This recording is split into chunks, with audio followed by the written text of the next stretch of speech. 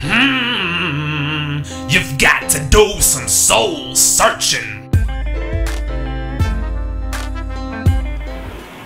What's up?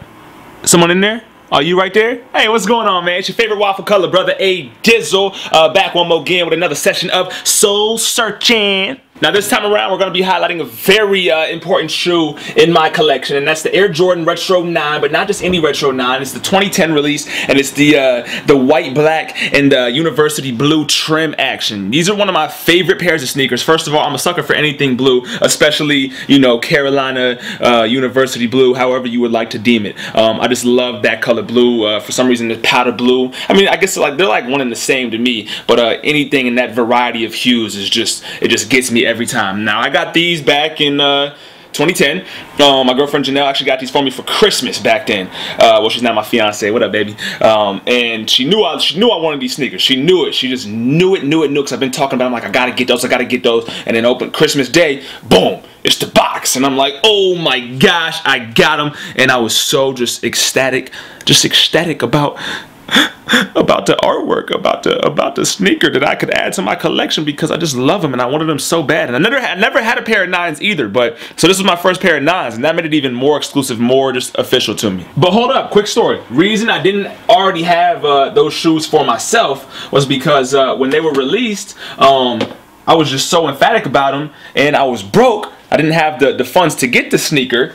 So that summer, uh, you know, Janelle and I had first gotten together, and I knew she was a sneakerhead. You know what I'm saying? We was a match made in heaven. I actually went to the store, and I couldn't afford mine. But I'm like, you know what? This would be a dope present to get her, and maybe it'll just make her feel good. Like, yeah, I got a good, I got a good dude. He he lacing me up. He keeping me fresh. And so I went, and she she could wear the kids section sneakers. Thank God for my pockets back then. So I went, and I literally scrounged up 60 bucks. I I, I had that's all I had. I literally I was living at home with my parents. It was a summer uh, in between freshman and sophomore year, or sophomore and junior year of college. Scrounged up 60 bucks, went to the kids spot, got these sneakers uh, in what are they? They they're size seven youth that she could wear, and these were my gift. These were my first pair of sneakers that I ever bought Janelle. These are the seven youth.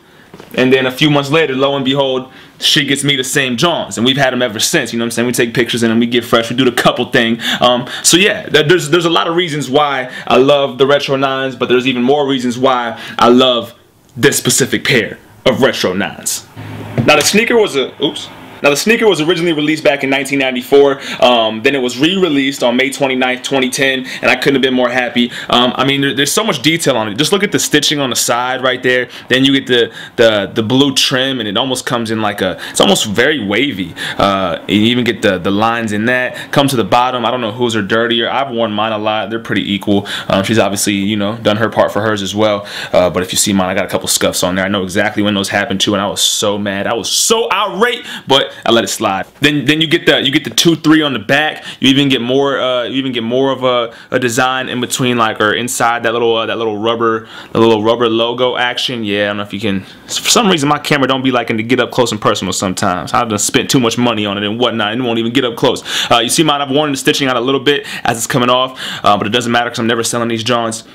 Boom even the lacing even the lacing structure like i love that. Um, it's just it just looks good. You get the mesh right here your foot can breathe. The shoe is extremely comfortable because it first of all it, it, grabs your foot but it also allows you room to breathe. It's almost like how can it do those two things at once? I don't know but it does it amazingly. What i also like is that you actually get like real like hard plastic uh, johns for your shoelaces to go in between. So it's not like a material and you can't rip them your shoelaces are going to stay tied and tight and never coming out of these little uh, these little holders right here. You know what I'm saying? You see what I'm saying? Shmoney shmoney shmoney. Then if you can see it's almost like a shoe inside of a shoe. You know what I'm saying? Like you see that little I am I'm going the wrong way and all that. But there's like there's like a little there's like a little like sole structure in here inside of the extra shoe. So it's a lot of it's, it's more extra cushion, but it's kind of thin. It's this uh it's uh I don't even know what material it is, but it's thin, so it allows your shoe your foot to breathe, but it does give you that extra that extra padding and extra support. I also like how they you know they accented it with the uh with the university blue right there on the inside as well, even though you don't see it as much. Then you come back out and it's black.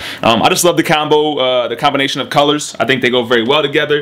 Uh, and I think this shoe is is overall one of the dopest uh, the dopest nines made. Obviously, from my personal my personal bias, and it is what it is. But I, I, think a lot of people would probably would probably agree with me. All right, it's the uh, it's the Jordan Retro 9 2010 release, University Blue. If you don't have this one in your collection, like if you really don't have it, if you don't, what other size, you know what I'm saying? If you had to get the small size because you was broke at the time like myself, if you don't have it, you're super slacking on your pimping cousin. Cop